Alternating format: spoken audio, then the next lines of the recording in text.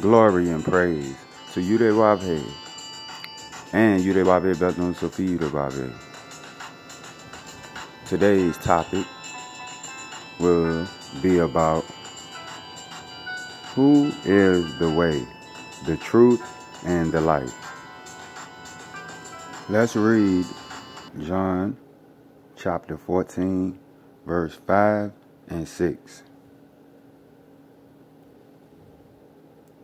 Verse 5 Thomas saith unto him, Lord, you de wabe, Bethno Sophie wabe, Yahweh ben Yahweh, we know not whither thou goest, and how we know the way.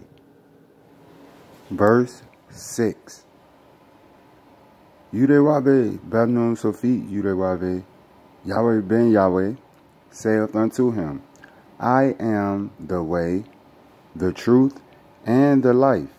No man cometh unto the Father but by me. So we learn no man come to the Father but by Yudewabe, Bethnun Sophit, Yudewabe. Yahweh ben Yahweh,